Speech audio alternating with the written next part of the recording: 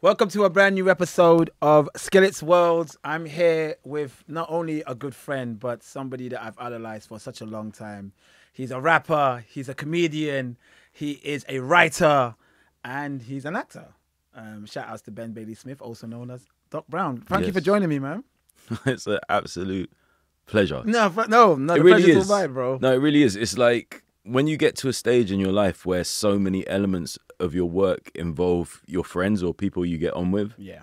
you're like, oh, this is what success feels like. Mm. I think I, always used to think it's a certain amount of external accolades, maybe a BAFTA or a a, a, a Brit Award or something for Mojo for um, Mojo. What am I talking about? Mobo for for music or something like that.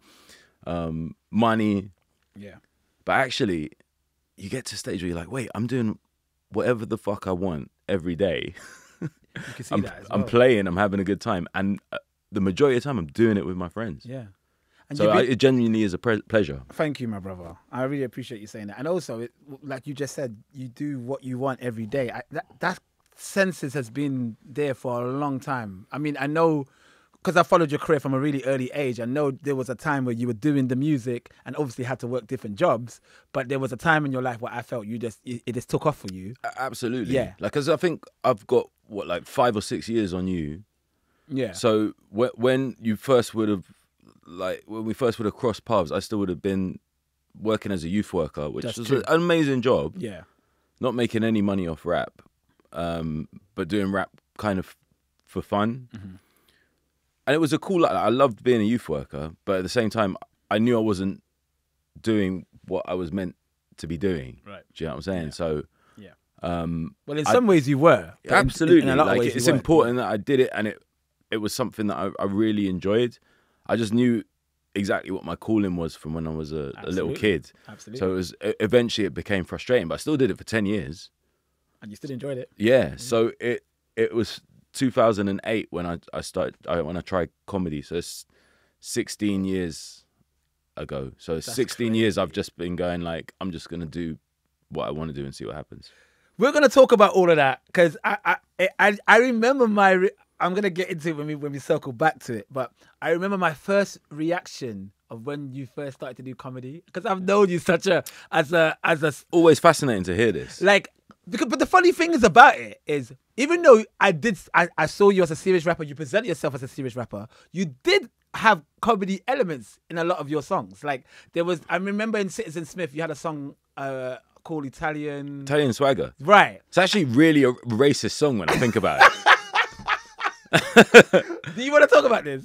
it's, it's such a good point because I never even thought about it when I started doing comedy. I always loved that I'd, song. I'd forgotten completely that I'd done that on the first ever release that I did this this mixtape, Citizen Smith.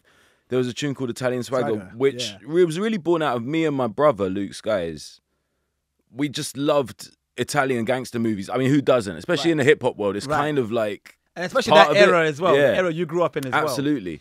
So, you know, being kids in the 90s, it's like Goodfellas is the ultimate like Italian movie and it's just before Sopranos um hits you and changes everything and like but within rap, you know, you listen to Wu-Tang or whatever like Nas and the Firm, it was like all it was sort of like intrinsically linked. Mm-hmm. because rappers from that era aspired to having the same sort of intelligence and networks not even necessarily criminal but like looking up to like these cool in their eyes cool people who do whatever the fuck they want to do and they're like a family and they're like a team do you know what i mean and they're they're funny and they're swaggy and you know Yeah. it just sort of fit hip hop's persona. So anyway, by the time Sopranos came out, we were just hooked. And me and my brother literally like we just talk to each other in these ridiculous, like like I say, borderline racist Italian accents. Like what the fuck are you talking about? Yeah, you know? yeah. And um, uh, I thi- it just spilled over into like But it's, but, into it's, rap. but it's also you just showing your humor. your sense of Yeah, humor. because I thought like I think at the time I thought if they're gunning me, then I'm not punching down. That's right. Do you know what I mean? It's like I'm punching myself in the face, which also was something I would do in you know the closest I got to a job in hip hop was probably hosting. Mhm.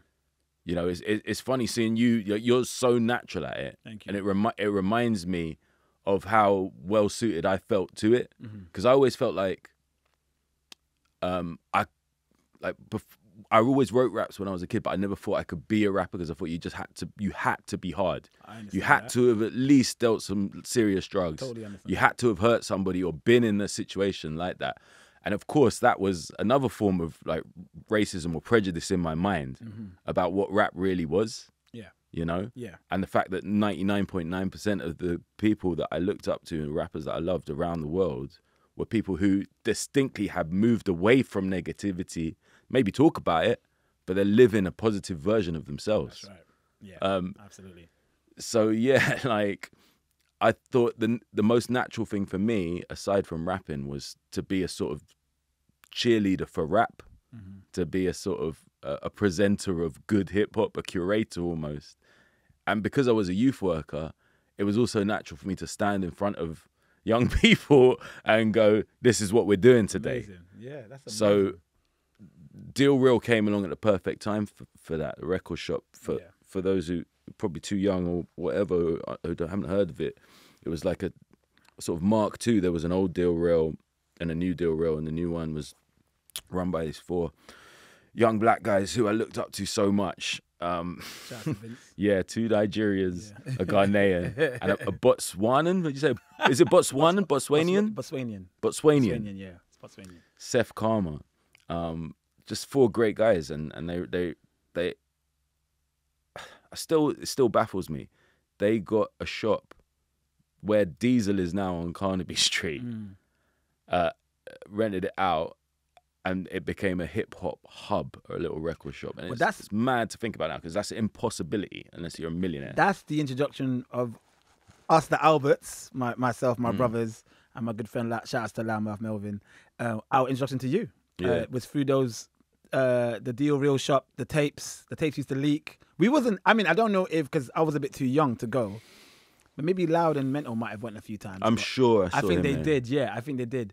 So that's probably even more reason why they knew about the tapes and whatnot. But I was too young to go. But I used to digest everything my brothers would do. I used to like every time they would Of bring course. any hip hop albums, I'll listen to it. Anything on TV, I'll watch it because they're watching it. So they used to bring these cassette tapes, and I vividly remember. I think there was a cassette that floated around. I believe it might have been Kung Fu, and this is when they were doing battling, battle stages. Was, Right. I think it might have been Reveal battled somebody. I, I- maybe Reveal might have battled Chester P. Okay, so that was that was FKO Raw, That's, which was a night. it. It was a night that happened at Subterania, which was up the road from me in Ladbroke Grove, so under the Westway. And you performed. Yeah, so that that was sort of the night I would say that Poisonous was really born because Right. we already sort of existed, but only sort of amongst ourselves. Right. So initially it was me and Reveal, then it was me and Reveal and Therapist. Then we met Tony at a cipher in Clapham, and it was kind of the four of us, and we was we were already like recording, but mainly just ciphering with each other and stuff like that. But that night, I was doing a PA. Uh, Estelle and Rosie, Rosie's Gabor was doing Yeah, Rosie Gabor, yeah. Roots Manuva Yeah. was doing a PA. Yeah, yeah. And but the main event really was FKO Raw. It like a bo- full size boxing ring that they set That's up in the middle of the That's right. venue. That's I think. Shorty Blitz hosted, and mate, like some of the like the levels of of that battle. Reveal was in it. Chester P was in it. Yeah. Cyrus the Virus. That's was in right. The Dark MC. Um, I can't remember anyone whack being in it. I remember Cyrus the Virus had a bar there. He said, Cyrus the Virus, the Dark MC, grab the microphone, make people them see. While you want a battle, you ain't got weapon. Looking like black you at a S Club 7. and he had a he had a classic. he had a sick voice as yeah, well. yeah, Cyrus. like it was like wild. Like, yeah, yeah. um, You perform sometimes. that that would be exactly that era, like Yeah. 02 or 01. and um and Tony, Tony Dangerous, Tony D was in the battle as well. out to Tony D. So we really felt like, oh, we're taking over this shit. Like Doc's doing a PA, Revs and T are killing it in the battles, battling guys that we were looking up to, and we came away from that night going, we're the shit. You know, Mm-hmm. you start feeling yourself. So much easier to feel yourself when you got other guys, like if you're in a crew. Absolutely. And that was my dream to just have my own crew because I was in a crew before that, and it's just I never felt comfortable in it. Do you know what I mean? Uh, It was, it wasn't formed in the same way. Like, um, just through f- people that you were immediately friends with, and the levels of spitting was like it just felt just like yours, but but better. Yeah, like, oh yeah. man, it's perfect. Yeah. Um, so it was it was kind of born that night. But yeah, like to go back, I think hosting the Friday nights at Deal Real was so much my wheelhouse without even me realizing it. You know, diffusing aggressive situations or Yes. difficult situations. Again, it became very natural to me, keeping things light Mm-hmm. so that people can have a good time, be aggressive. Rap has to be aggressive, has to be. Yeah. But then you also have to have a line. And if you have like a good atmosphere, you can have like wild aggression. It's like when you it's like when you're walking down Blackstock Road and you see like the North African dudes like screaming at each other. I used to see it when I was a kid. I'd be like, oh my god, there's a fight kicking off. You know, you're like Yeah. five or six, you get scared. And you get older and you see they're like all bridges. yeah, yeah, exactly. That's just yeah, like for that's the speed and the aggression and the tone of the of the the the conversation culturally and hip hip hop rap is just like that. right. Okay. It's not a softly spoken thing. No, not at all. You Not could get all. all up in someone's face and it's great. It adds something.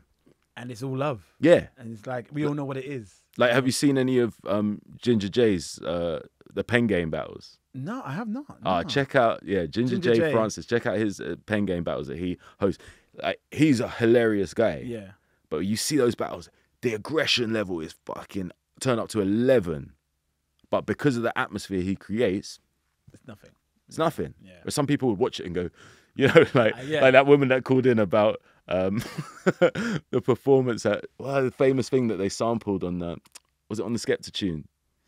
Oh yeah, um, you're talking about the clashes back in the day. No, the, remember the, the the the famous Skepta tune? It sampled that woman who called up the news and was like, 11 hooded black men moving very aggressively. I don't pay my license fee. Do you remember that? I think she called in about wasn't that about the Kanye West thing when she had maybe it was all the grime, she had all the grime MCs. He had, yeah, he had all the grime MCs for all day. I think yeah. maybe Skepta sampled that. Yeah, yeah, because one of his Skepta was like JME and all them was on stage with with Kanye That's when he was performing um, at the Brits. yes, that's, what it it was. is. yeah, yeah. And that's what I mean. Yeah. It's like it's so easily misinterpreted, but when you're within it, it makes total sense. That said, yeah, your responsibility is deeper than you think. Like you need to be able to clock when the line's been crossed and to diffuse that situation Facts. because, mate, shit fucking happens. Yeah. Like yeah. it's uh, throughout my my life in hip hop, especially when I was younger, shit happened way more because, mate, like yeah, of course. who's too stupider than men under twenty? Like Yeah, one hundred percent, bro. even dogs are smart. Yeah. Like,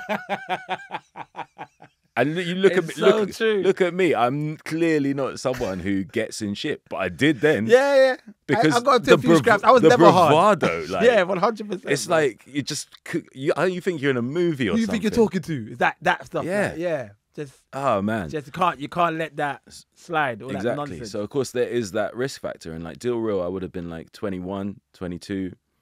So even that, I was already like that kind of. There was an elder statesman feel to it when you've got kids in there as young as like Reveal was.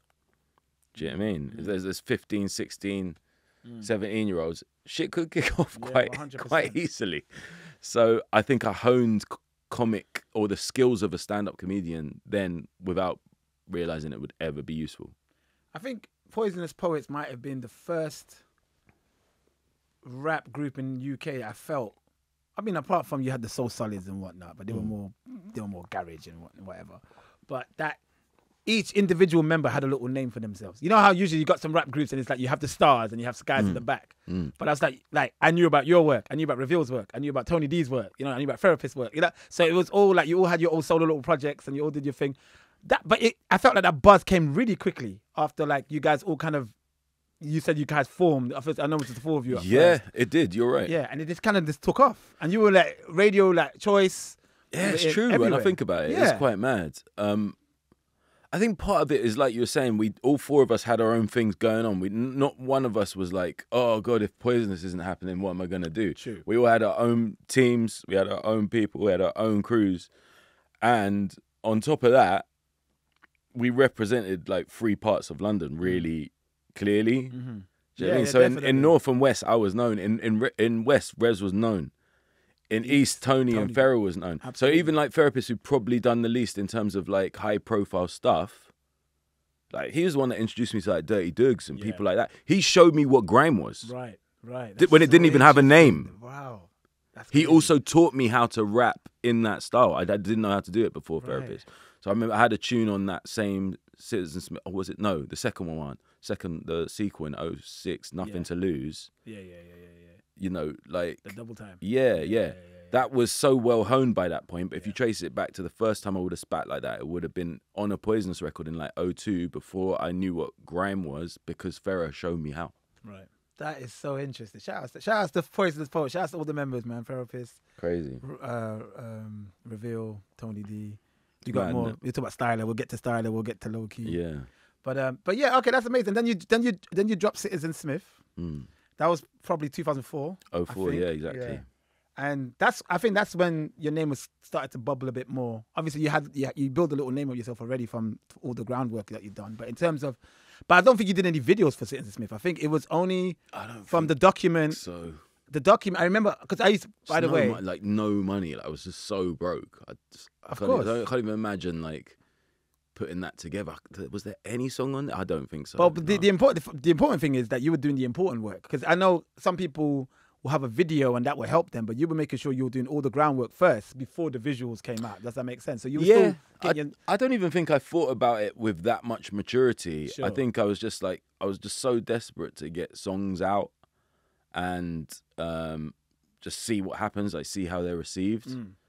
Um, and I just I, I really loved that record and and um, I think the real sort of impetus for it was probably um, the Lowkey tune, like dis- Yeah. discovering Lowkey, getting him on a song so quickly. Then the next thing I know, like it's like Jo Whiley's playing it. It's like, you know, I was like, holy shit! Lowkey back then, man. He had so much energy. Oh, he's incredible. He was spitting. He was so spitting. dangerous. Yeah, he was. He was in crazy. an open mic, it was like unnerving. Like there was, it was tense when he when he took to the mic because he was he was so intense. Mm. And you know, the last time I'd seen anything like that was Reveal. You Right, know, yeah, a couple years earlier, like exactly. the intensity of him on the mic, Exactly. how much it it felt like it meant. But then, of course, like that day when Lowkey battled the other Loki and bodied him, Yeah. that was the moment I was just like, I need to recruit this kid, like not now, but like yesterday, because you get that thing with rap. It's so competitive. You Mm. just think he's gonna destroy everybody. Mhm. If he's not on my like, if he's on my team, then at least like yeah, exactly. we've got the destroyer of everybody. Do you know what I mean? Even if I'm shit, even if I turn shit tomorrow, it's like, yeah, but we got this guy. It's like, you know, when Fat Joe is like, you listen to Fat Joe and you're like, I feel like Fat Joe's getting like progressively worse over time. and then he he finds Big Pun. It's like, well, it doesn't matter now. No, it doesn't. Doesn't matter He now has to because destroy a world. we've we just got a nuclear weapon. like, so what you what you got to say? That's a good. That's you a gonna say I'm shit? Yeah. Give it a bash, man. I'll I'll press the red button. And then, and then even when he started recruiting Pun, he started getting better. rapper. Absolutely, Yeah, he did. So started it was it was good for him. Yeah. Uh, let's talk about your little short stint at Jump Off. You were a battle battle rap champion, right? Before Pro Green took over. Yeah, three took over- times. Yeah. three times. What was your time there? Because I remember, but I used to go to Jump Off, but I think I came in the latter stages. I, I wasn't. Yeah, I mean, I'm so old school. The first jump off I entered was underneath Yo Sushi on Poland Street. Wow. Wow. Some little like Wow. little event space. You could see the sushi going around on the little track thing. It's like it's weird, um, but I did well. And then it moved to the Swiss Center, Right. which is now the M&M Museum. Yes. Yes. Yes. Yes. Yes. Yeah, and then it became a bit more serious, and that's where I had probably the best battle I ever had against. There's a guy called Rocky. Okay. And by that stage, I got quite used to people, the things that people would cuss me about, and because it was improvised, then it was like old school freestyle. Because You kind of knew people would come with the same cliches, but so your I style was ready for it. But also your style was different. You gotta give yourself like, 100%, Like, like- yeah, like you would kind of self-deprecate a bit. Yeah, I joke about it because I was just like, well, what I'm gonna say? I'm not gonna say I'm gonna bang you up. It's not gonna happen. Do you know what I mean? I'm gonna cuss your mom. I'm gonna talk about the things that you're gonna cuss me about. Um, and it worked, man. Yeah, I mean, I remember. I can't even remember how the bar went, but I remember the moment I won that battle, and, and I think it was my second um, title because uh, he was gunning me for being mixed race, for being light skinned, you know, and all this shit, and it was like constant. And that's obviously that you can get a good couple barbs in on that. Yeah. very good, and I like I love it. Like I don't mind. I think like the just the right level of racism is really funny. it's so delicate. You got to know. You got to know what the point is to just go. Now you cross the line. I find like just the right, just a sprinkle. You know, like Dave Chappelle. The racism was just mwah, Yeah. perfect. Yeah, yeah. Um, but if you do it too often, diminishing returns, less funny, and people get a bit like, all right, yeah, we get it. She's fat or whatever. Do you know what I mean? Like, how many times are you gonna say it? exactly. So I kind of knew like that was hitting in the face, and then I like I just went for him in the third round. I felt like I had him on the ropes, and then at the last bar, just before I knew that the, the the gong was gonna go, I said something about um how the most embarrassing part of this is that I, didn't I merged with my white half. oh, that is sick. That is sick. That is I, sick. I can't remember how it went, but like that was it. Like Yeah. the roof came off, Yeah, I yeah, was I can imagine. game over, That's hilarious. game over.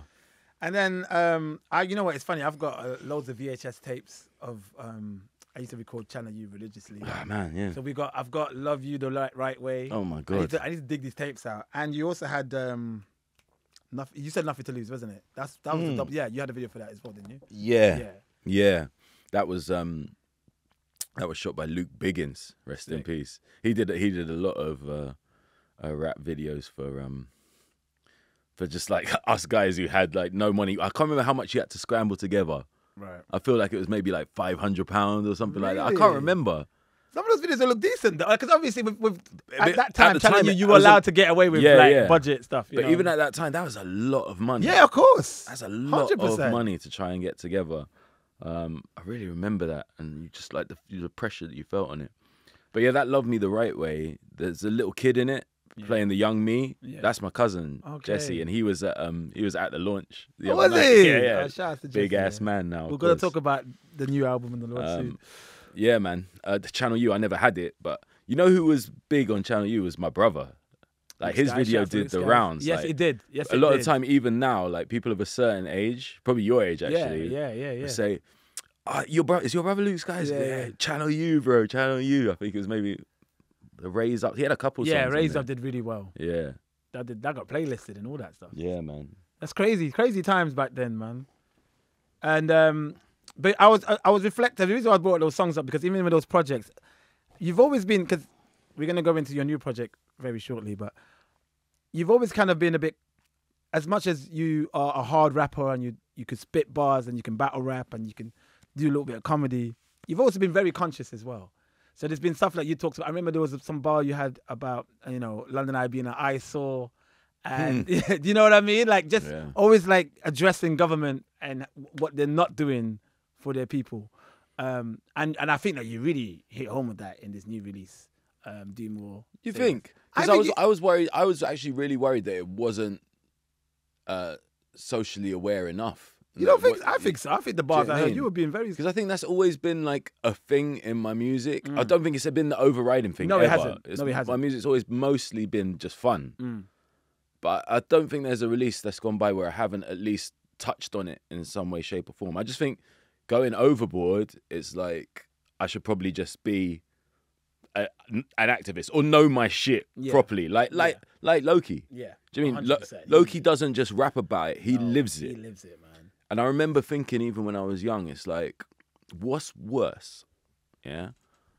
Out of the two types of fake rapper that exist, is like, is it worse to say on a track you're like, you're shanking this man, you done this, you did a stretch in jail, you never went in jail, you said you were poor, you were never poor. Like, is it is it worse saying that stuff and not doing it, mm-hmm. or is it worse saying like save the world shit and, And not, not doing get- it? yeah, exactly. And I thought actually that's worse. Yeah, it probably is. That's worse because at least this guy isn't killing anybody. Yeah, yeah, he's lying yeah. about it, but at least he's not actually doing it. Yeah, yeah, yeah. You're lying about it and you're not even doing Yeah. anything with your life. So I think a lot of it came from youth work because like when I I did a BTEC level three in youth management and opened my own club. Um, and uh, well, I didn't, actually, I didn't open my own club; it already existed, but I had the qualifications to manage it.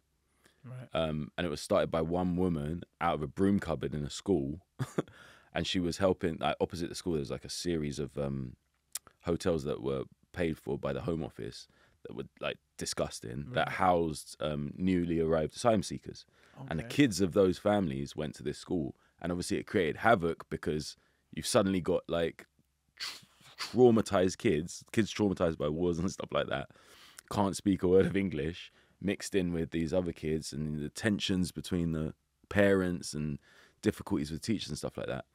And this charity was set up to support specifically those kids, right?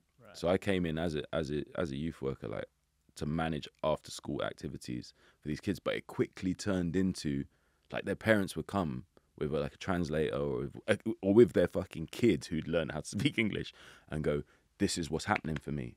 Do you know what I mean? Like my dad's on the, um, my husband's on the run from the secret police in Tehran, or like um, I'm being uh, uh, harassed by the police here, or you know, the situation at the hotel. There's like you know people that work there committing atrocities against us like you know being abused shit like that housing problems all this stuff i was experiencing it every day mm. and then going to deal real on friday and being like the host with the most so when i wrote songs i think i always felt like at least one of these has to not be about how good i am at rapping Absolutely, absolutely, bro. but i was also i was conscious from the start of like don't want to be too preachy yeah, no, yeah, I, I don't. You have, you never was though. You've never been preachy. I think even within those songs, it's like, where's the sort of tongue-in-cheek element, or the, or the element of like, this is serious, and here's what I feel I can do about it, but here's my limit. Like at the end of the day, I'm a rapper. Yeah, absolutely. But you, but you, I think you balanced all that well, though. I All, ho- I all those so. elements, you I know, you so. definitely did. Let's talk about. I guess you you got to a stage in rap where I've, I I heard you say this. This Mm. is not me. I heard you say this, and I think we had a conversation about this before. You said you came to a stage in your life where you're probably going to do one last album, call it a day, Hundred percent. and then randomly, uh, you got somebody, a friend of yours, called you about doing some sort of gig with 1Xtra, like comedy writing. That's right. yeah. Um, and then that led on to meeting Lenny Henry. Absolutely, yeah. That was that was the way it went. So I'd I'd met him while I was still deeply immersed in like serious rap and youth work, and that was my life. And 1Xtra was still pretty young, and I had a relationship with them because Yeah, yeah, yeah, even then I was doing like links, like when it first started, like coming up. The, there's this show, that show. Mm-hmm. I went on it, appeared on there a few times, like doing freestyles and Yeah, and you used all to do West, stuff. Westwood and Yeah, all Westwood that shit. Yeah. And um, so I had a bit of a relationship with him. But this guy was doing like a comedy show, either on Radio One or 1Xtra or both. I can't remember. And he wanted like spoof rap sort of jingle things on there. And I was so such a serious young guy. I was like, I'll do it, but as long as it's not my voice, someone else to inform it, and don't t- say who has written it or anything like so that. Do you know what I mean? I can't imagine that. I can't. I can't imagine that. But yeah, see Whereas- how things panned out. Whereas now so- with the Snoop Dogg, when it was like it's embargoed and I wasn't allowed to say anything for a year, I was chomping at the bit to tell the world, like, I wrote this shit. I wrote this shit. Yeah, yeah. But back then it was like I don't want anyone to picture me as a clown or a sellout. Like how how immature is that? Like to get a little gig like that on 1Xtra, which is like immersed in hip hop culture anyway. Yeah. To feel like that's sellout. Like that's how Yeah, yeah. underground backpacky I was, you know. Yeah, yeah. Um, but anyway, so like, didn't think anything of it. It was like two years later when, like you say, I was, I was done with rap. I just couldn't work out how to make a living from it. I had a daughter, you know, Yeah. like it just shit just wasn't a game anymore. Of course. Do you know what I mean? It's two, it was 07, so my daughter was like a year and a half old, coming up to two years old, and I was just like, yeah, I'm done. And he called me again, but he'd moved into writing straight up sitcom comedy, and he was writing a thing for Lenny Henry Amazing. and that was it. That was my that was my transition into comedy. It started there. I'd I'd never finished the album. It is actually kind of done, but it's not like mixed and mastered. Love to hear that. It's called man. Another Way, and it's all live instrumentation. It's just totally different to anything I've ever done Sick. because I'd been touring with Mark Ronson with a Yes. live band doing like live hip hop, and I found it really inspirational. Right. The weird thing about that job, that tour, which is the only time I ever made money off rap, by the way, was that when it came to an end, it was a it was a real come down.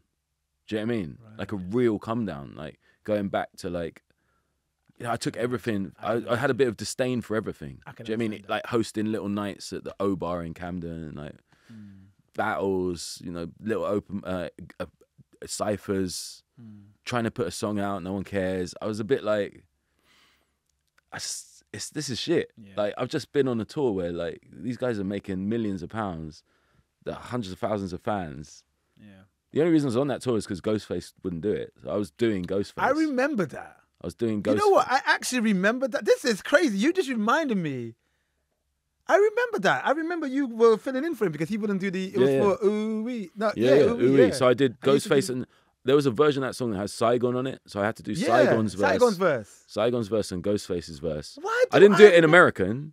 I just No. did it in my voice. I but know. actually, like when I did it, I was like, you know, what? Saigon's a problem, bro. Yeah, he's sick. isn't That he? guy can flow. Yeah, I was like, I. I actually loved doing that Saigon verse. But uh, why do I remember that? Like, like, because you said there's don't a tour, but I felt like I might have actually seen that. The first time we did it was at Fabric, It's probably it was probably that. and it was me, Mark, I think Daniel Merriweather, Amy Winehouse. I can't remember, man. Did, did we have Lily Allen for that one? Don't think so.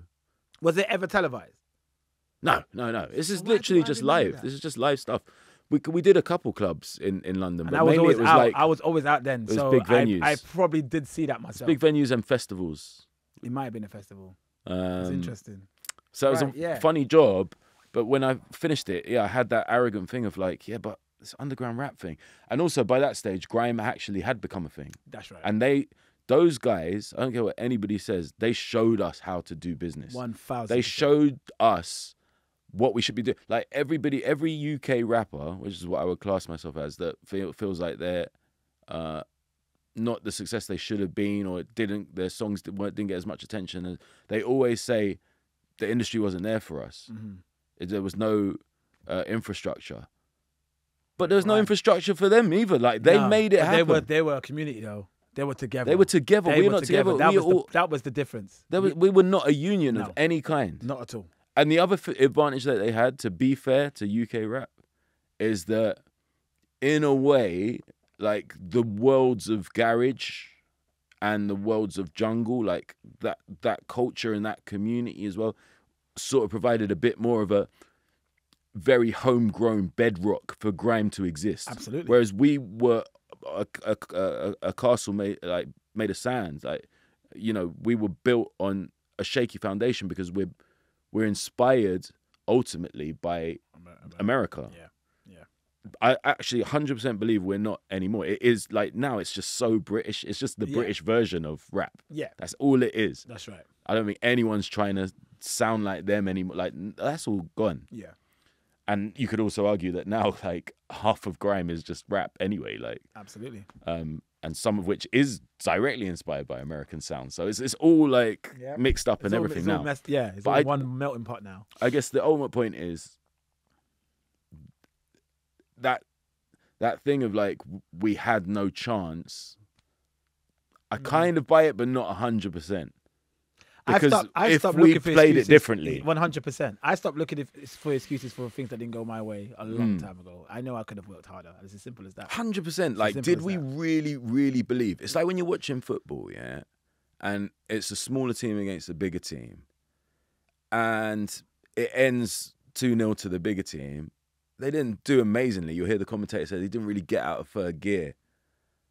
But it's mainly because the smaller team genuinely, deep, deep down in them, deep, they would never say it, but they didn't believe they were going to win. That's it.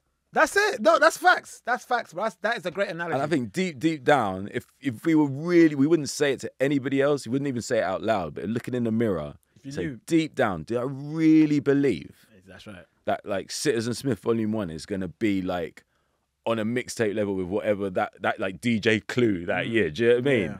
Yeah. Yeah. Like, yeah. Yeah. what have you done to make that happen? To manifest that? Mm. Mm-hmm. And it was a great lesson for me because. I didn't. I wasn't working full time at it. I did. I didn't take that risk. If I truly believed it was possible, I would have mm-hmm. taken the risk.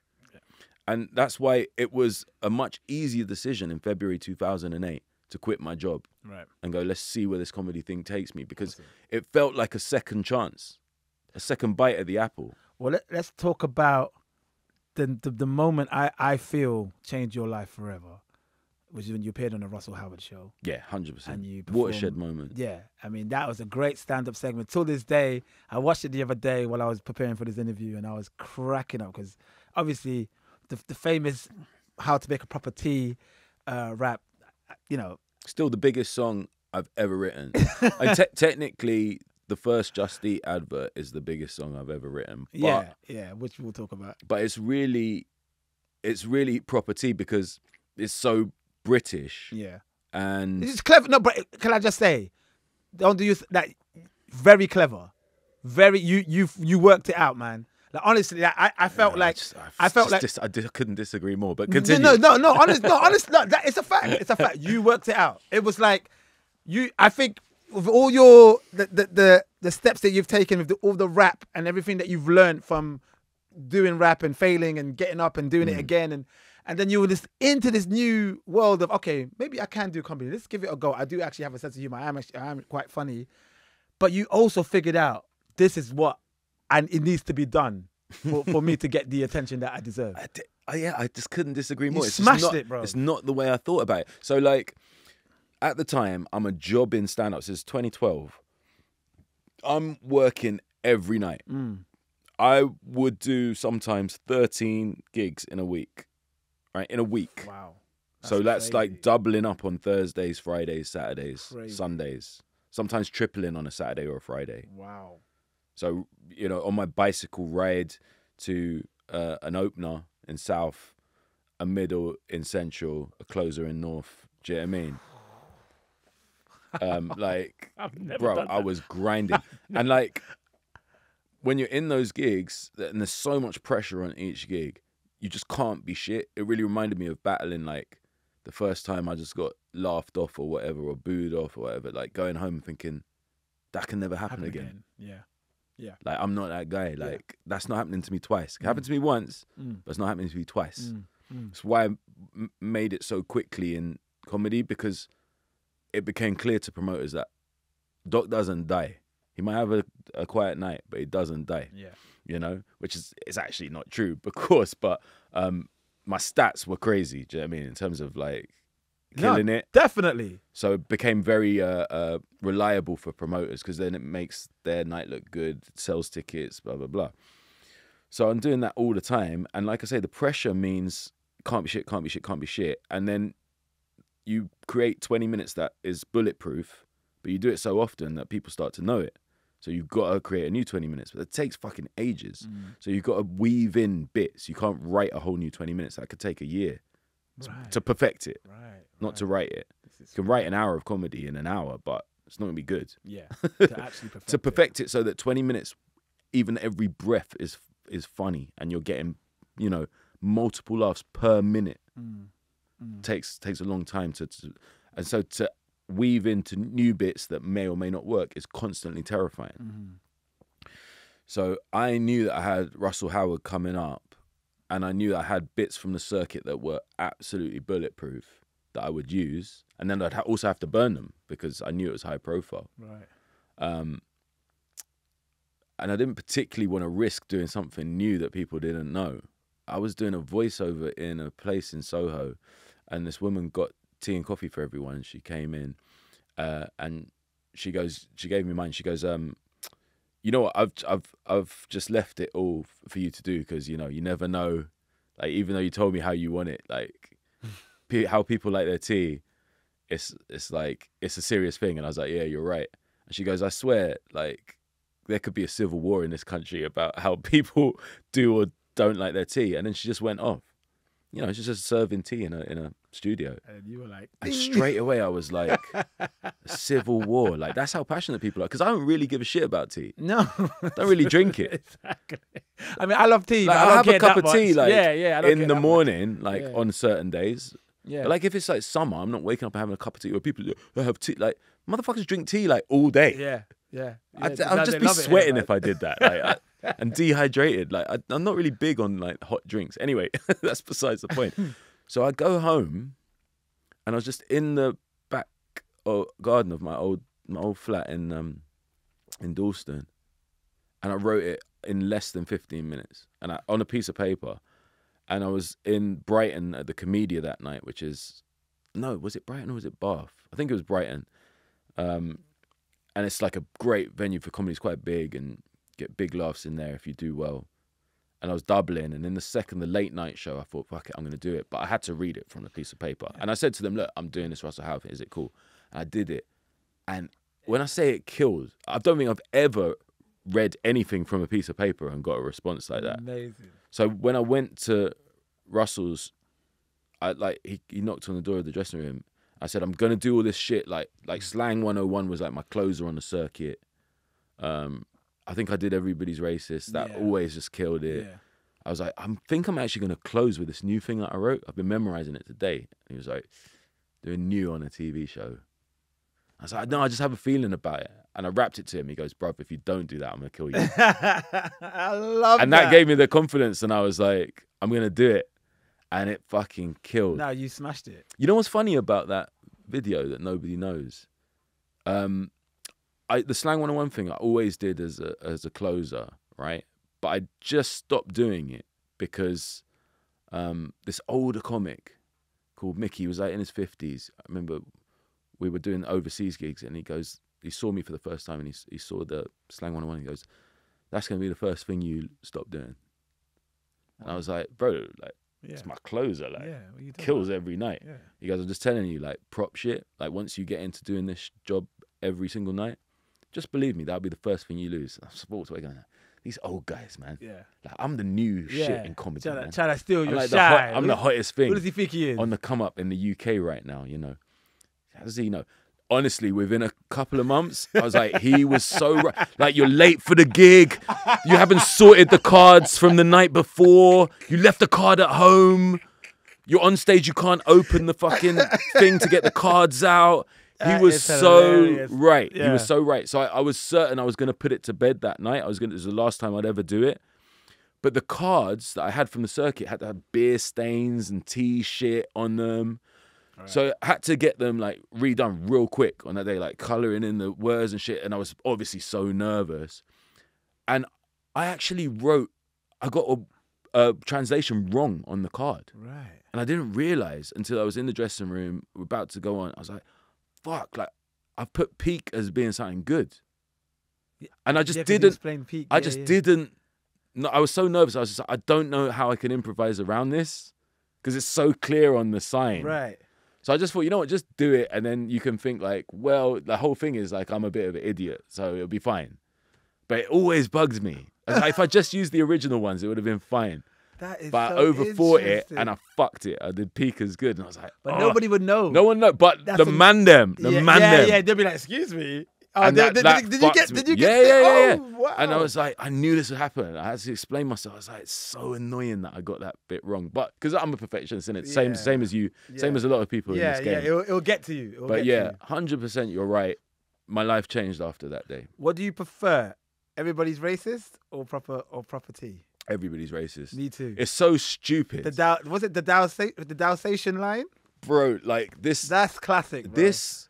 There was a young black dude who messaged me a couple years ago, right on Insta, and he goes, uh, "Hey man, like I'm a big fan. I'm a I'm a up and coming film director. I'm I'm, I'm 24, 23. Um, you know, I've, I've I've studied all your works. Great, blah blah blah. So give me lots of props. Oh, this is nice, nice coming from a next generation Mm, youngsters. mm. And he goes, um, yeah, just you know, the everybody's racist thing. I just um, wonder if you know, because it was such a different time in 2012, that you maybe look back on it and and and regret some of the language you used. Oh wow. Um, you know, knowing that the respect that we need to have for all differences, you know, be they gay, straight, black, white, you know, it's it's a different time and you ever like worry that you'd be considered a dinosaur with this kind of language and then he said and would you consider being as talented as funny as you are like reworking it for my generation uh, uh love and respect blah blah blah and i just texted him back fuck off I wasn't expecting that. no, absolutely. What the hell? Did he Bro. not? Did he not get? Did he not get the joke? i was like He clearly didn't get the at joke. first, you know when you suddenly think, "Oh my god, I've offended someone," you get that slightly cold feeling, and then I thought about it, and I was no, like, bro. "Wait a minute!" that's ridiculous. And then, like I say, it was ten years later, so I was like, "Shit, maybe I was a bit insensitive." And I way. watched it back, and I was like, No way. "No, the whole thing. Oh my What, god!" you said? Did you not say the cars? You said the cars racist. you said the cars. I said the racist. queue is Yeah, racist. exactly. like That's it's ridiculous, bro. it's just it's the most ridiculous, simple layer of satire. You know, Absolutely. It's, it's not even about racism. Really. No. It's it's about Blaming myself and my culture, like my friends, and I include myself in this, who have made excuses for ourselves yeah. on why shit's Yeah. not happening in our yeah, lives. yeah, hundred percent. It's a joke about me and my friends. Yeah, it's, bla- and it's blatant. It's yeah, so and blatant. it's and it's not masked up. No. Like, so I was a bit like, no way, and that's why I thought I could go. Well, I'm really sorry to hear about this, but actually, I think it stands up and it's funny, and I could, I feel like I can defend it. I understand your point. I just thought, Nah. nah, fuck No, off. I, I totally, You I don't totally get it, bro. That was the best way to respond to that. That- And you know what? It's so funny. That's the thing me and my friends used to say back then in like uni days. Uh, like, oh, that's racist. Like, I'll be like, oh, what are you doing tomorrow? Oh, I can't. You, are you free? no, I'm taking care of the kids. I was, I would say racist. like, yeah, that's yeah, the humor. yeah, that's yeah, the. That, yeah. I love that. Um, I used to always do it about like just items. You know I Yeah. mean, when someone was saying, like, I still do it to my wife now. You know.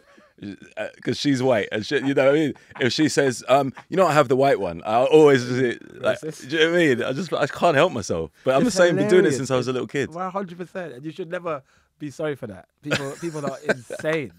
Um, you had a, a a bit of a time with Ricky Gervais. You- Yeah. yeah. Uh, you guys worked on a few things together. You were in the Office movie, Mhm. And you had the Christmas number one. Am I right in saying it was a Christmas? Am I wrong about that? It wasn't a Christmas. I, number, re- I would have remembered if I had a Christmas okay, number one. my bad. That would be my amazing. bad. I think I in my head it was a Christmas number one, but you I feel like that's the pinnacle for a British, like when you're a national treasure now. I'm just making things up, but it was um, it was like Red Red Red Nose Day, right? Yeah, yes, what that's what it was. Wow, the way I mistook that for Christmas number one is actually. I can crazy. see why though, because it's sort of it's the same sort of wheelhouse, isn't It's it? It's around Like, the same time, and Yeah, it's one of those things where it's that level of profile that you sort of put it in the same area as as Last Christmas by Yeah. Wham. Do you know what I mean? It's just like but that done really well. You had it like did a amazingly. A lot of your comedy songs, like kicking, kicking, kick you in the balls and run away, like you had a you had a a, a run where it, Oh, was- 100 percent. where I it was, was like, like, you were like our version of Lonely Island, yeah, our version of um, Flight of the Conchords. yeah, yeah, 100. percent And it was and before I was, Flight of the Conchords actually. Flight I, the no, I was inspired by their radio show quite Okay, heavily. Me, okay. me, and my producer who made all the um, rap, all the comedy rap songs, Mickey's. We were listening to the radio show, but so it's before the TV show. right. But we listened to the radio show, Ah, which okay. was jokes and like the songs I'd play in the songs, we'd be pissing ourselves. Okay, okay. So it was okay. inspired by that. Um, I think it was before Lonely Island. Though. I think it was before Lonely Island, definitely. Um, Okay, yeah. Yeah. And then, I, I, but what was so great because that was when you then then you really started transitioning to TV, Mm. and you were kind of everywhere. Like I know you've done a lot of you said you did a lot of voiceover work, but you also uh, did a show called the Four O'clock Club, and a lot of kids in a certain generation who I may have met as they've gotten older through work or whatnot, and they found out that me and you were friends. They would, they, oh, you know, those are my best fans. it's crazy. Bar none, It's crazy. they're my best fans. And Luc Skyz was involved in that as well. Your brother was involved. yeah, in he took over from me. So I'd written him into the show as like a famous rapper. Okay. Because it's quite a handy tool to have, like because you can have kids aspiring to things like within the show, and it, it raises the stakes. Right. So he was this famous rapper called B Mode. Um, uh, but yeah, when it came to the second series, and I knew I had to leave, I couldn't be on the show because I was starting to do other TV, and Yes. I had a chance to do some serious acting. I was really excited.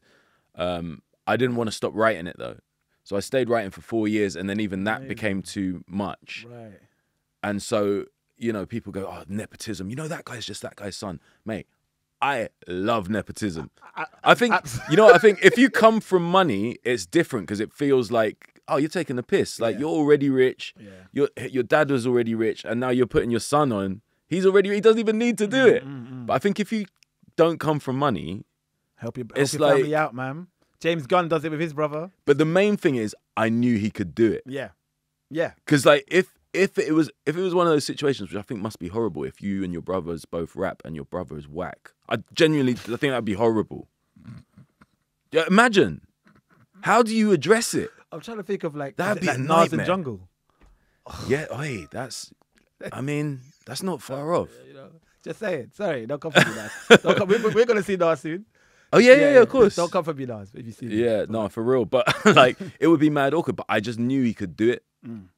Um, and I knew because obviously with your brothers, you have such a a special sense of humor Yeah. that you don't have with anybody else. Yeah. Of course. Like you can you can look at your brother and you know you sort of know what the what the joke is. It's like telekinesis, man. Yeah.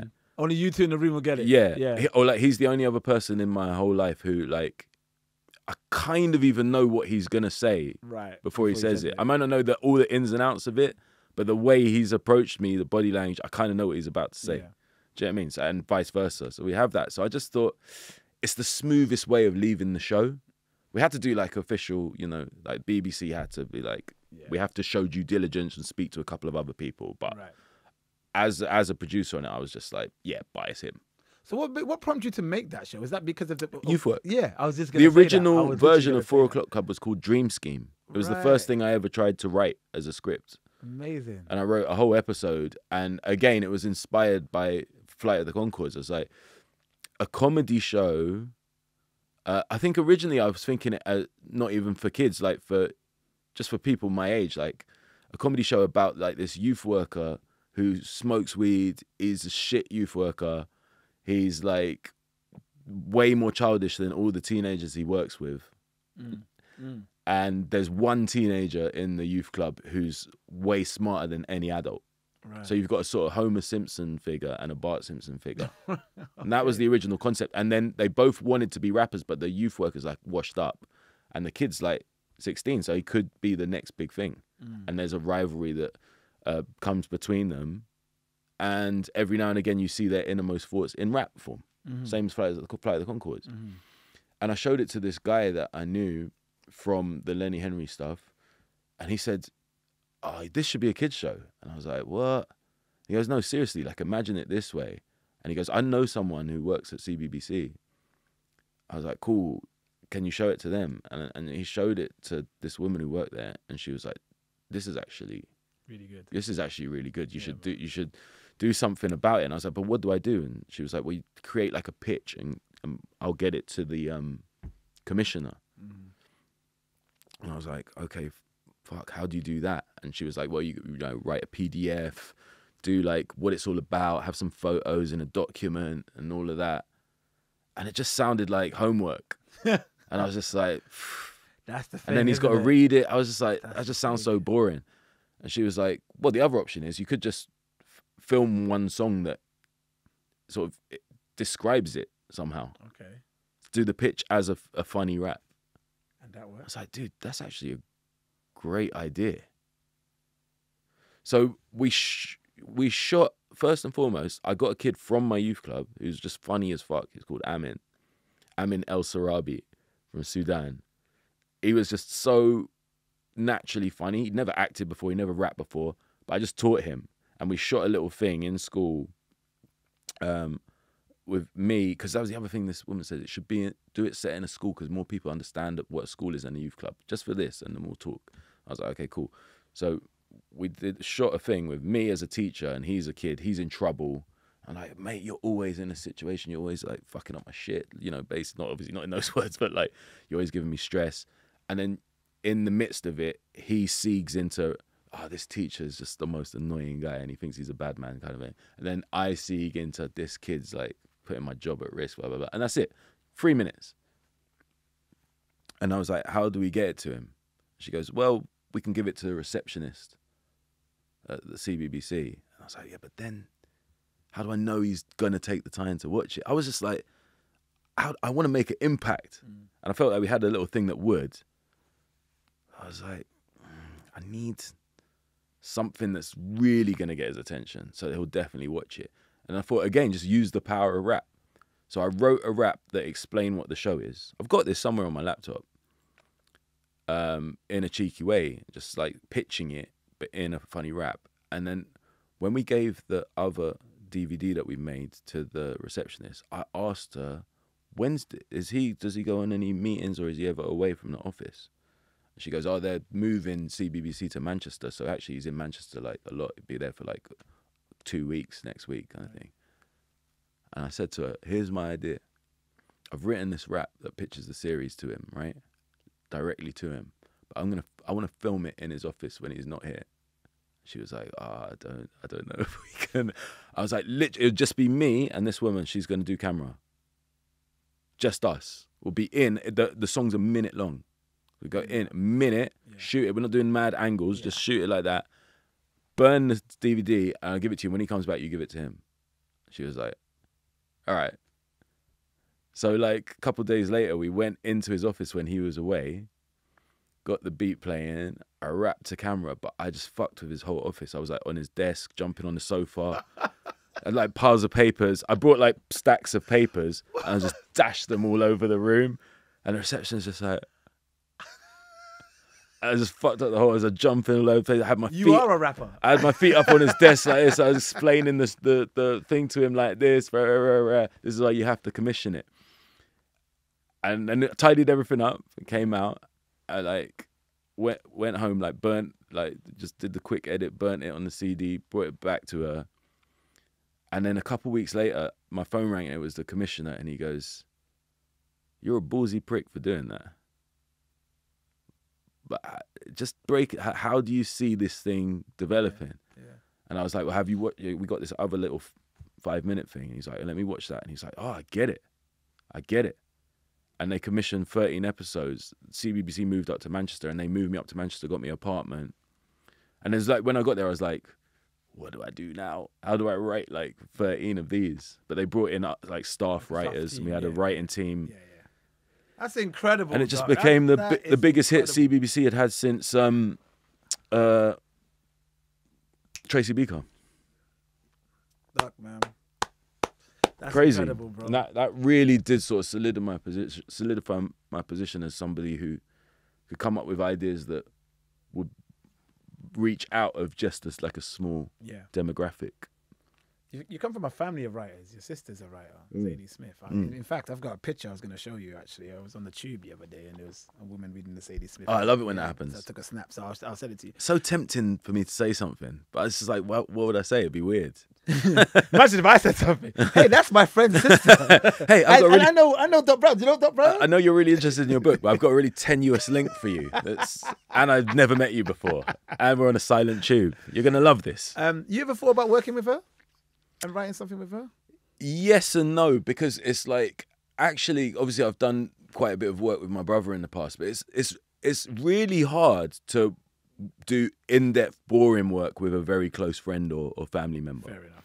like I said right at the top of this interview the easiest thing is to do fun work with your friends or family members I agree with that. stuff that's really granular like script writing stuff that's really slow like say me and her adopted adopted adapted a novel together Mm-hmm. that could be like a couple years work Yeah. I think you you've got to be really zen with each other. Me and her are, to be fair. I think we've only had two arguments in our whole lives. I love that. but I'd have to know like the pace and everything, like who, the the balance and all of that. You've got to get that right. Yeah. If you're Yeah. doing something in depth with somebody, and you work at an alarmingly fast pace, but they're amazing, but they work at an alarmingly slow pace. That can be really difficult you, to. You could clash heads and. Do you know, I've always been fast. Mm. Yeah, For better are, or for worse. Crazy. I sent you a I sent you a song and you did that in the the day and sent it back on the Yeah. same day. Because I always think like, while I'm feeling this, let me do it. Mm. It's good Because advice, when things get boring, you're like, are you still feeling it? If Mhm. you're not feeling it, who the fuck else is gonna care? Yeah.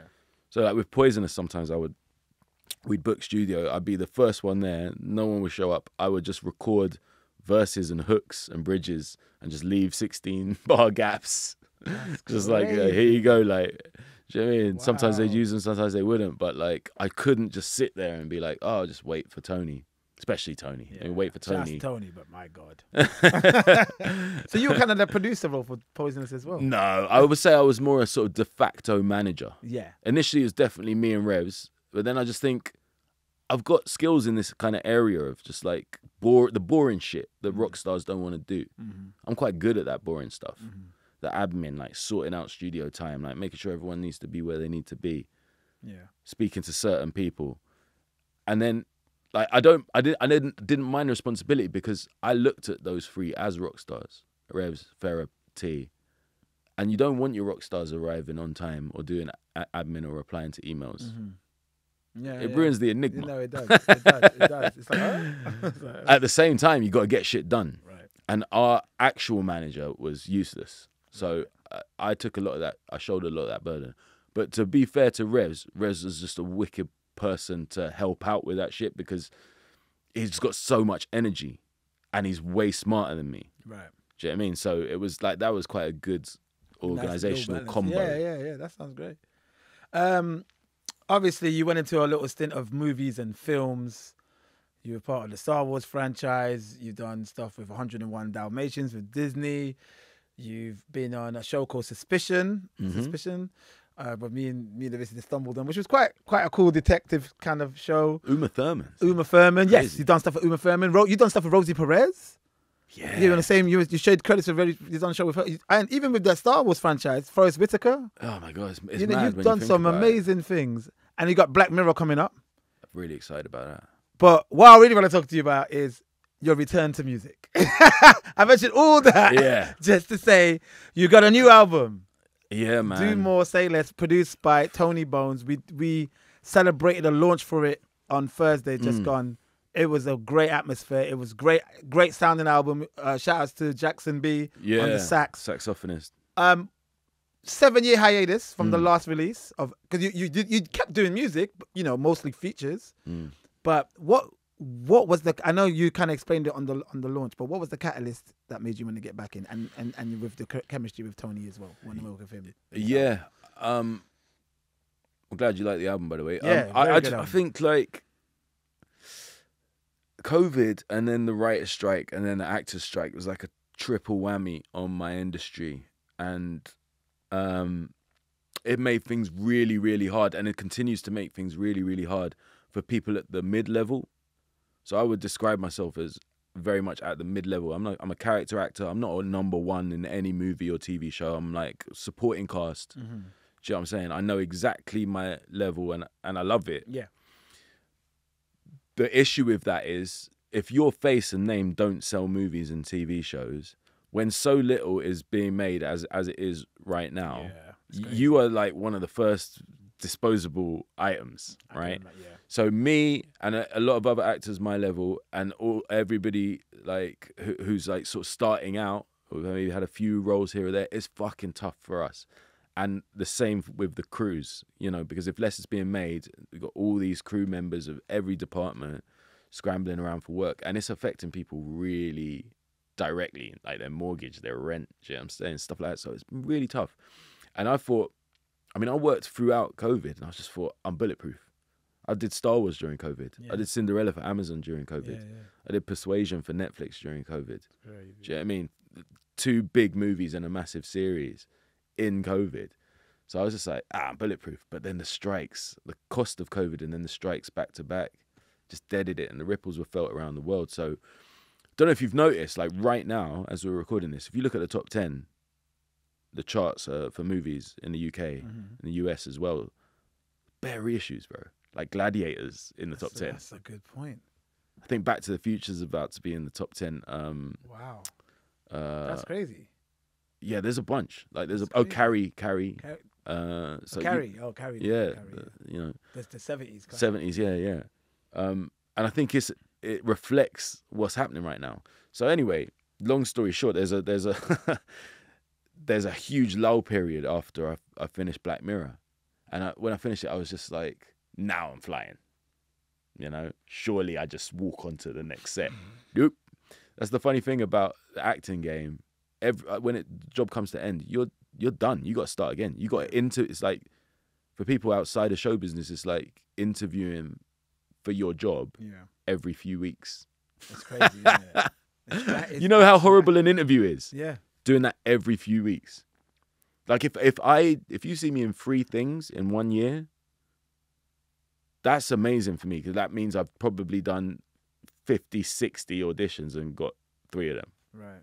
It's, it's brutal. Yeah, yeah. So, anyways, and there's nothing to do. I start to get down because I need to feel like I'm useful creatively. Well, sorry, I know not to pivot away from the album, but you during that time, that's that's when the Just Eat advert happened.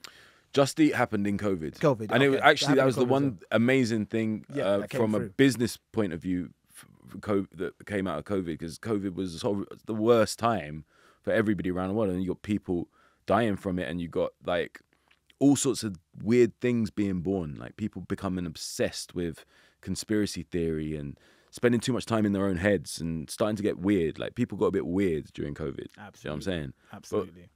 one huge benefit of people being locked on their screens and delivery drivers being like the fucking heroes of COVID. like true. was like people needed shit like Just Eat. Mhm.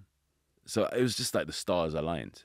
And you wrote for Latto Wrote for Latto, Christina Christina Aguilera, Aguilera, and. Katy Perry as and well. Katy Perry as well. Those adverts are iconic, man. Yeah, been they've been winning a few awards in that in that world. Like it's it's it's been really really good to me, man. Um, So you did that, yeah, and then you so that was all time- done. I didn't have anything to do, Yeah, bro. Like just walking the dog, doing DIY. It felt like COVID. I was just in my own head like the whole time, just fucking like. boy, I just I had scripts, ideas to finish, but I just couldn't energize myself to do them. And it's just like, what? Occasionally going to parties, see your friends, but I just thought like I'm not achieving. I haven't earned the party. You know when you drink a beer and you're like, I haven't earned this beer. I haven't done shit today. Yeah, you play football or you come out of work and you have a beer. That beer is that beer bangs, bro. Do you know what I'm saying? It bangs. totally agree with you're You've saying. done to- fuck all all day. What have you done? You walked the dog. What? And now you're getting a reward. Fuck. Fuck out of here, man. totally agree with you're. So yeah, I started to get down, and then Instagram, like it's just the algorithms in it. Like there was this guy. I wish I could remember his name because I should give him a shout out. I think he's like Ko- Korean American uh, hip hop producer. Just posts his instrumentals, you know, that he's he's working on, and every single one of them is fucking sick. But I mind was, design, no. you know what? If you said it, it might ring a bell. But anyway, Yeah, yeah. um, so like, I was always like just liking his stuff, and then you know once you do that, it like pops up in the Explore or like as you're just scrolling through, it's always going to be his shit that pops up or other stuff that sounds like it.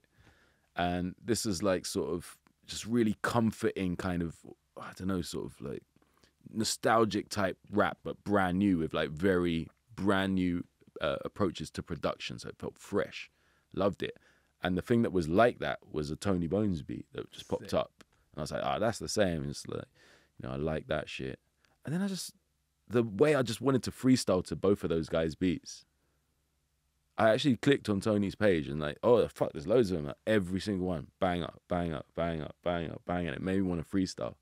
So then I just DM'd him. I was like, bro, send me a beat. I I'm love just that. bored Love that. and that was it. Like he sent me ten beats. I wrote to seven of them. Used two of the other ones for like ad, little advert promo things. Yeah. He's nine out of ten of the beats he. N- literally never happened to me in my life. like back when I was rapping like all the time when I was a kid, I get beat CDs from everybody. You get someone send you like fifty beats on a CD. I Right. listen through all of them. I hate all of them. I'd feel so bad that I'd write to one of the beats, just so it would, it would like I wouldn't have to say like you sent me 50 and I wasn't feeling one out of 50. I just write to one real quick, send it back. Like, There you go. Doesn't turn into anything, but ah, well, you know, never Yeah, mind. yeah, Uh, I just didn't want to be like, yeah. I hear you. I hear you. I didn't want to be, and I didn't want to be the guy who like doesn't even like holler back. You know, I got, I got to holler back with something. yeah, yeah, yeah. But Tony was just like seven out of ten. I wrote to them, and like maybe three of those seven ended up on the album. Like we started working at a ridiculous rate really early on, and that was end of December 2023 into January 2024. And I just kept thinking there's going to be a job round the corner, like a real job, TV, film, like my actual job. And that didn't happen. And then I thought, oh, maybe an advertising thing will come in. No. So I was a bit like, well, I enjoy doing this. Mhm, It's costing me time and money, mhm. but I enjoy doing it, and it makes me feel like I've achieved something at the end of the day. Yeah. So I started going down to Bournemouth to Tony's studio. I think the first time we actually met in person, he, he was like, uh, "There's a studio that I use in London, but it's in the middle of fucking nowhere. So sorry, but or you can come to Bournemouth." And I was like, "No, let's do the one in London. I, I got a car, I can travel. Like it's fine. Where is it?" He goes, "I was in this place called Park Royal." I was like, "Bro, seven minutes from my house." Mm. I love that. That's crazy. He thought, he So thought for you that was like, Yeah. so, yeah. And and and as you should, because if you look at Park Royal on the map, it's in the middle of fucking No- nowhere. Yeah. Wow. So, th- th- th- that's when they started cooking more, and 'cause Yeah. the chemistry is really good between you two. Even like, even I know he's he's quite um quiet, Yeah, but, yeah. but when he's on the mic, he gets into it. He He's like the perfect Yeah. wingman. He's the Yeah. perfect wingman because if I had a rapper hyping me, they'd probably hype every other bar, and I, f- I actually find it really distracting. I agree. I agree. I Like think- even with Jackson, like we were doing that song "Sorry, Sorry, I'm Still Sorry, We're Still Here," and the two rehearse, two or three rehearsals we'd done, he was playing over the uh, verse as well. And I was like, actually, I can't deal with that. Just, just come in with in, in the chorus because sometimes the bars are so intricate. I just need to let them breathe Yeah. completely, and I could I can find it off putting to the point where I'll forget the next bar. Mm. It just jars me a little bit. And Tony's like the perfect level because he's not a rapper, so he just comes in on the very opportune moments, and because he's not an all out and out performer, although he's not afraid of being on stage. Yeah, that's it. His position to the performer, the central performer, is going to be perfect. You're never going to be treading on each other's toes. yeah. Whereas, like, I can feel it in myself. If I'm featuring on someone's tune and they want me to come and perform the tune on the night, or if they want me to just stay and hype, I can feel my the rapper in me is just like, I gotta get in there like a bit more. Let me do a little harmony.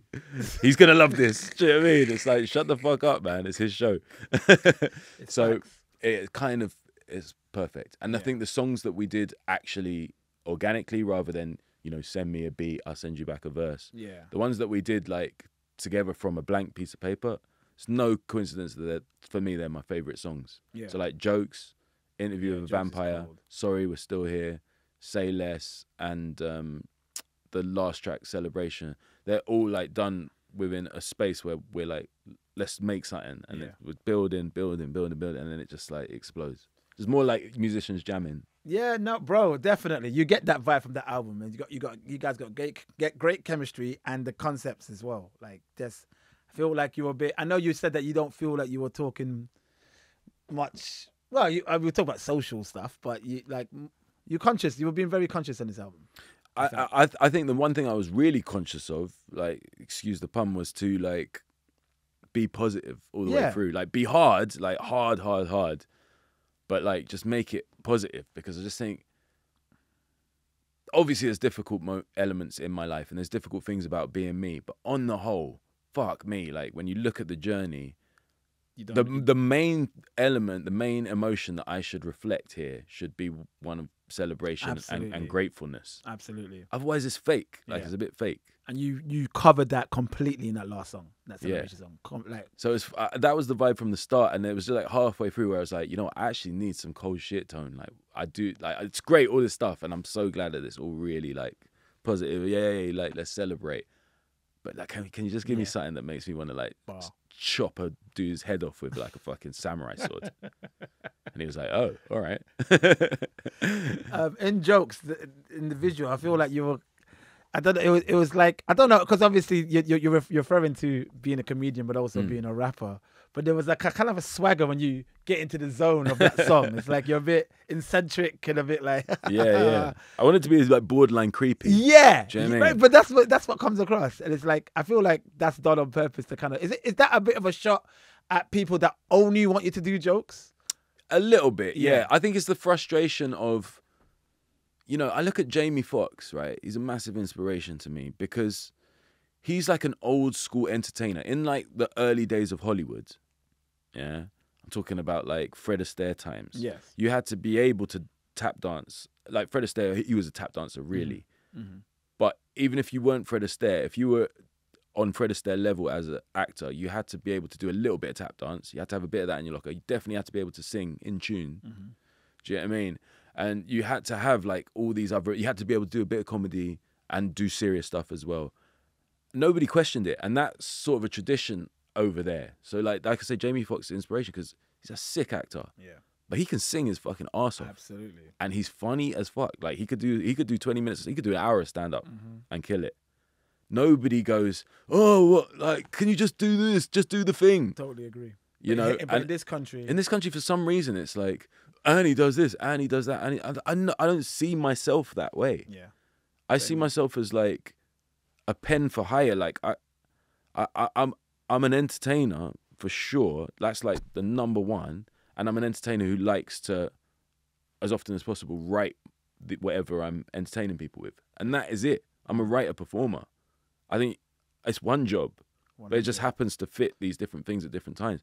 But for some reason, like I d- I British never- culture just I've- can't. Yeah, I never understood why that was difficult for people to understand. Also, because even with me, like I started doing rapping, but then I, I I did a lot of comedy stuff early, even Yeah, with my yeah. raps. So there was always like, so you you are com- com- comedian and a rapper now. But I said, I've always rapped. So you, well, okay. It's like they, I, I don't know why they find it It's- that you can't be different. Pe- You- you there's, just there's different sides to everybody. Exactly. So it, for me, it reflects more the human experience from an artist's pers- perspective, and I think it's it's tonal. So like if you listen to prime Eminem, Yeah. and people get upset about this song and not about that song, and the song they get upset about, you listen to it and go, he's clearly joking here. Yeah. Like if you can't tell the difference between, you know, hi, my name is, and like say goodbye to Hollywood, That's right. then you're just not listening close enough. They're not.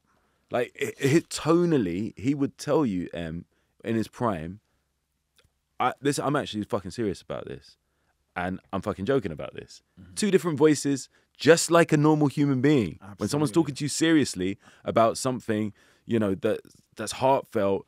Or they're going through, or their family's going through. You don't go, oh, bro, that's a good one.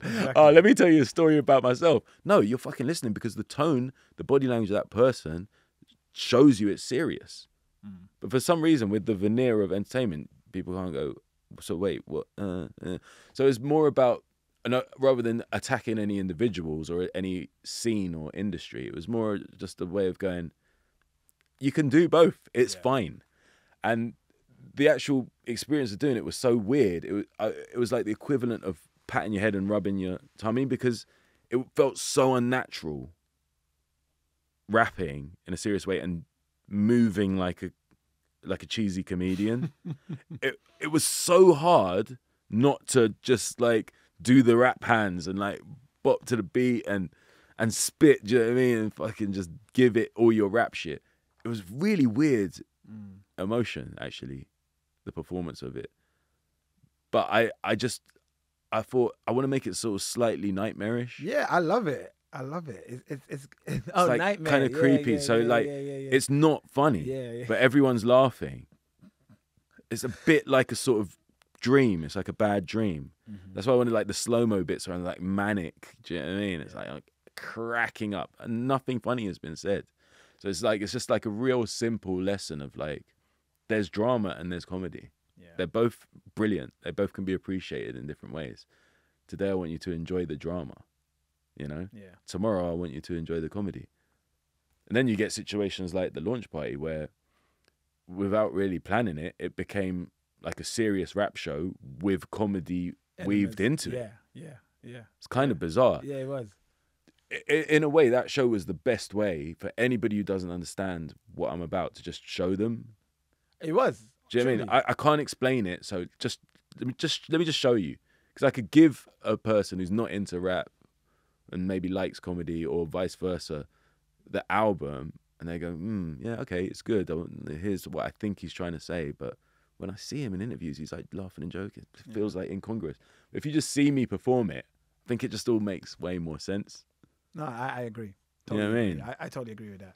I had friends that are long life fans of yours through comedy and didn't know about your earlier work. Mm, yeah, which is totally fair enough. and and then but they were blown away.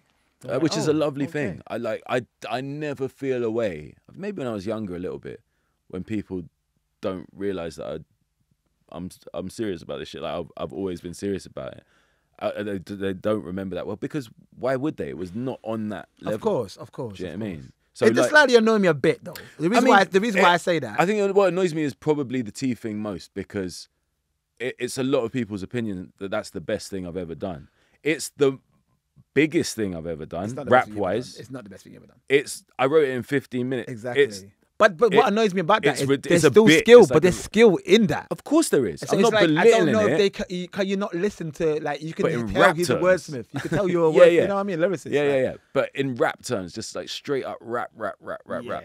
Like I would created that song to be simplistic enough for people that don't give a fuck about rap, maybe even hate rap, to enjoy it. Mm-hmm. Did not write that for people who love rap. People who love rap that like it, great. That makes my day because like that's ABC shit to me. Flow wise, Mm-hmm. No, definitely. delivery, definitely. you know, it's a, a clown in it. Yeah, like yeah. I'm making it as basic as possible so that you understand it. Also, it's weird that I recorded those songs because I designed them all for the stage. So the pauses were there for the audience to react, laugh, and then get back in. They weren't really designed to be listened to Yeah. and appreciated in that way. But if people do that, then great. But if you want rap music, I'm telling you, I could do some shit and you'll enjoy it, and you'll be able to return to it in in a in a way that would be, surprise you that you appreciate it. You know. We're gonna wrap up soon. I'm gonna have a lot. Of, just a few rapid questions for yourself. Okay, cool, cool, cool. up. Yeah, as you can tell, I'm not good at one word answers. No, you're but- amazing. You're amazing. This has been great, and you- you're amazing to talk to, man. Um, the greatest of all time, rap wise. Oh fuck. it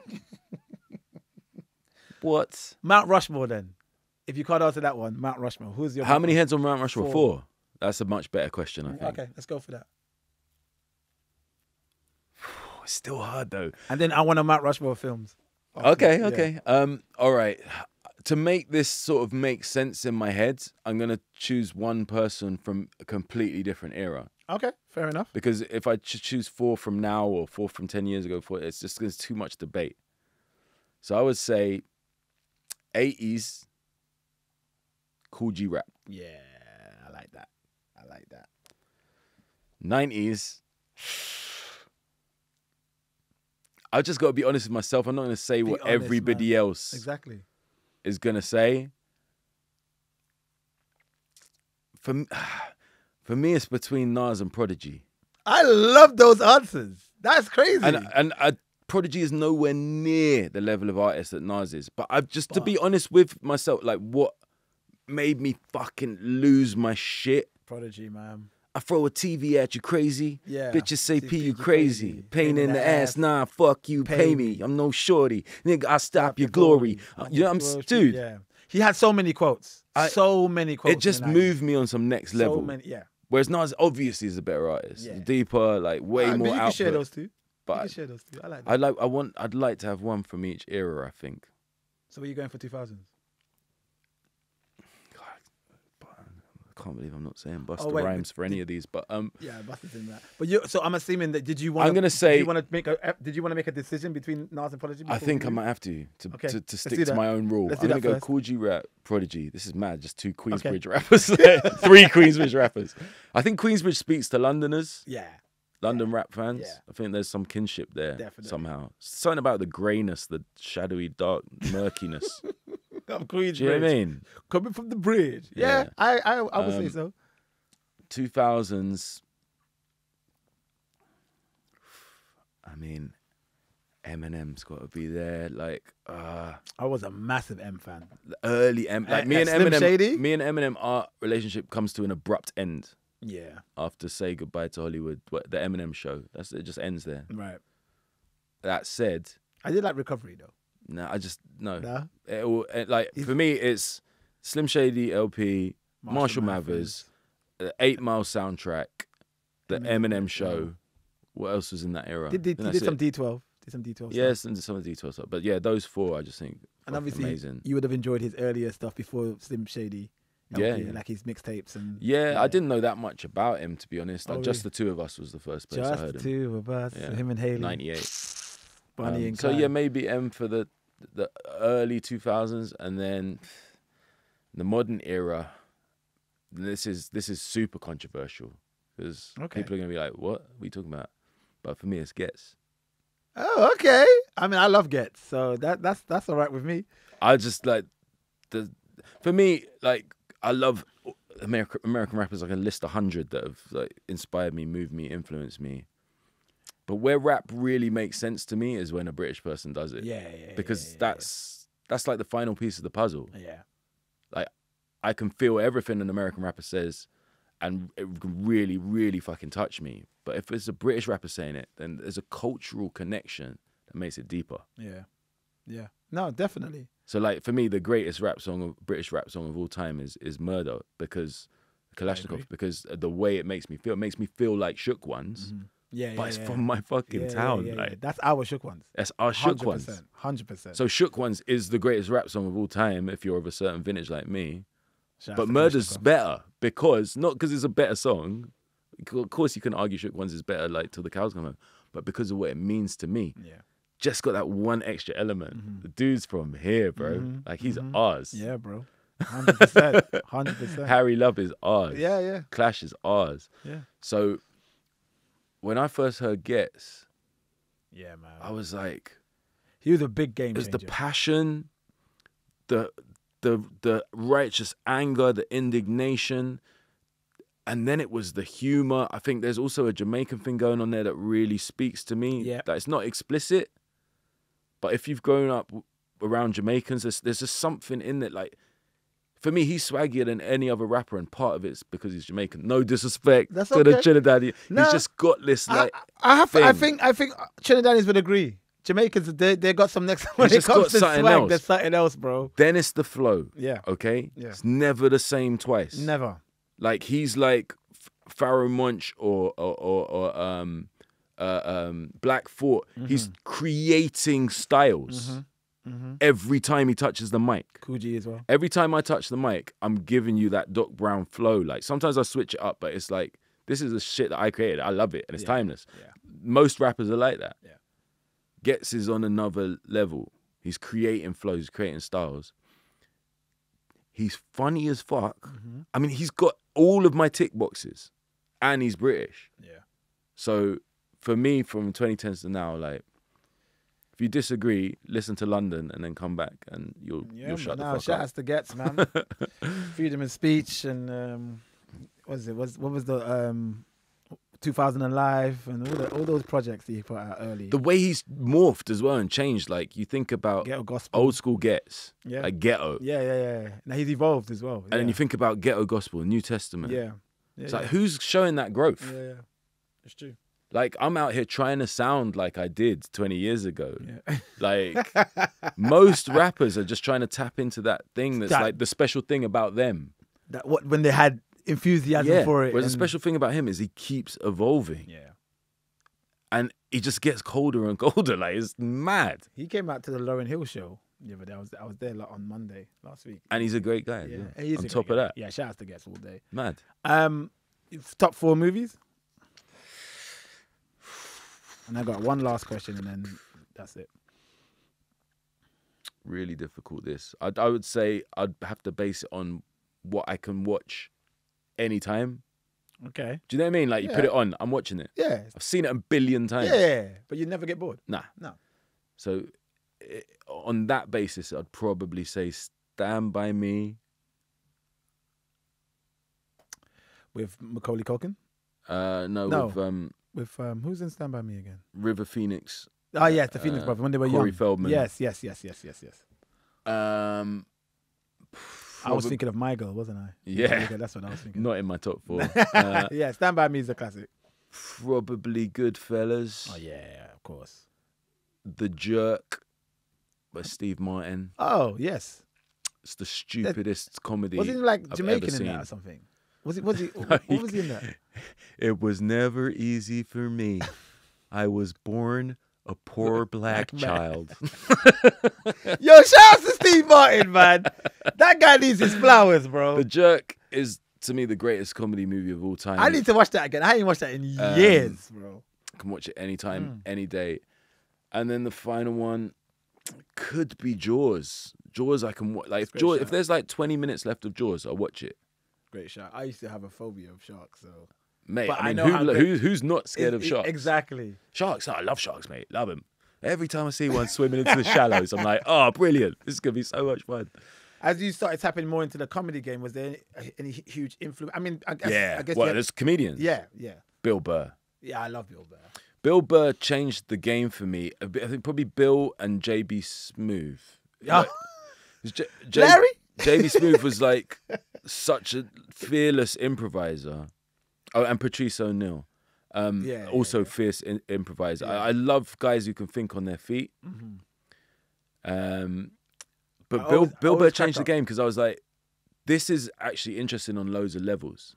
This is a working class guy, uneducated, who's making wild points, um, that come from a lack of knowledge, and yet he's incredibly smart. That's right. I thought that was like an interesting angle. Then the second interesting angle is that his wife was black. He's immersed in black culture. He doesn't want to be black. Mhm. He's very like aware of who he is, Mm-hmm. white bread, ginger, aggressively white, Mm-hmm. and he's addressing that shit without pandering to white liberal audiences or or black sensibilities.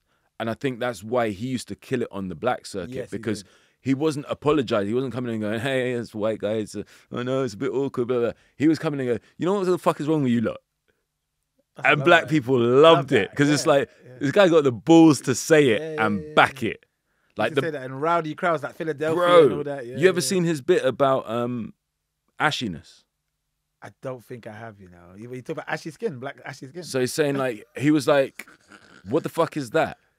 And he's like, he's like, my wife, like she basically gets up and dunks herself in a fucking vat of of lotion, just creaming everything. It's like, why are you doing that? She's like, I don't want to be ashy. What the fuck is that?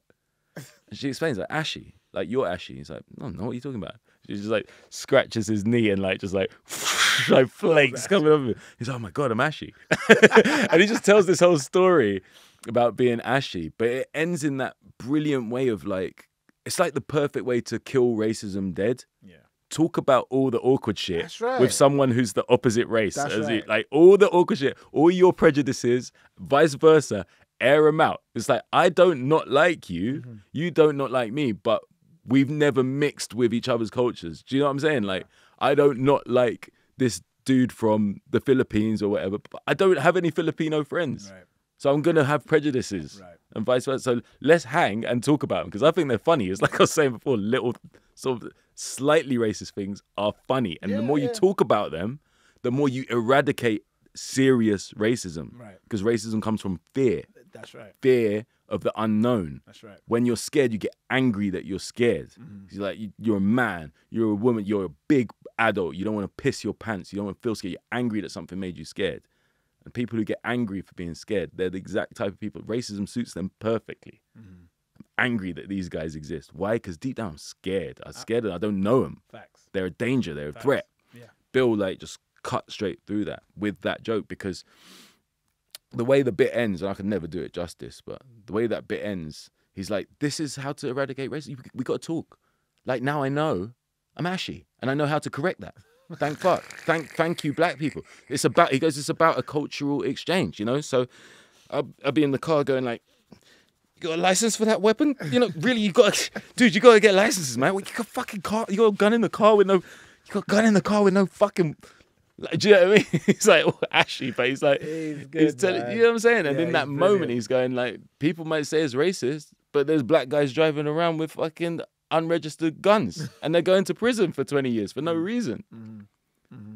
So he's saying something controversial that really a white person should be allowed to say about a black person, but he showed you this is the dialogue I have Yeah. because I'm immersed in black culture. I didn't plan to be here. I fell in love with a black person. Yeah. Yeah. So now I'm learning. Yeah. I love Brilliant. That. I love that. He's a huge inspiration. Yeah, for me. he's, he's next. so if you think back to the stuff I was doing in stand up, a lot of it was about what I'd learned from a mixed race perspective, right, com- being between two worlds. All of my comedy really is about being in the middle, right, like coming from a working class background and becoming middle class, you know? Yeah. And now my kids are posh, bro. yeah, yeah. That's yeah, what's yeah, happened. Like again i'm in the middle so for me it's like i'm i'm like a conscious observer of these two worlds i'm constantly caught between them and for me i always find it quite funny like huh and the things that people think they can say or do around you you know if a middle class person assumes you're middle class or if a working class person assumes you're working class a black person consider, considers you you completely black or a white person considers you like more on our team.